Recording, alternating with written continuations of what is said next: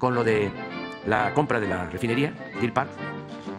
La historia, pues ya se conoce. Esa refinería se hizo en sociedad con Shell, como era socio mayoritario Shell, eran los que manejaban la refinería.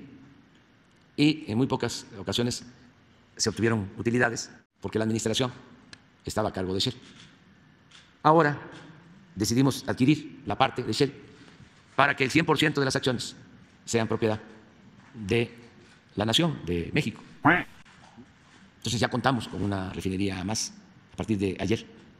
Y es una refinería que tiene eh, buena capacidad de producción, tiene capacidad para procesar 320 mil barriles diarios. Se obtienen nada más de gasolinas al día de hoy 131 mil barriles diarios de gasolinas de esa refinería.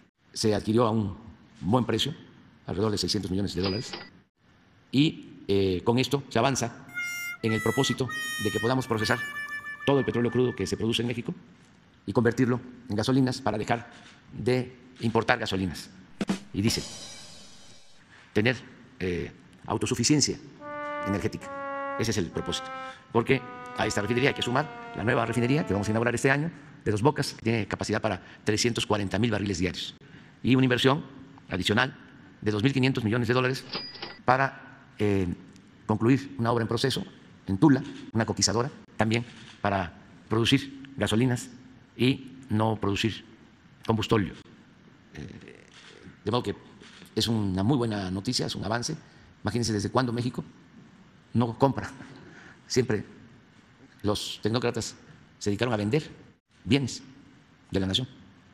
Es un hecho histórico que ahora estemos comprando, aún de manera simbólica, eh, solo una empresa, una refinería.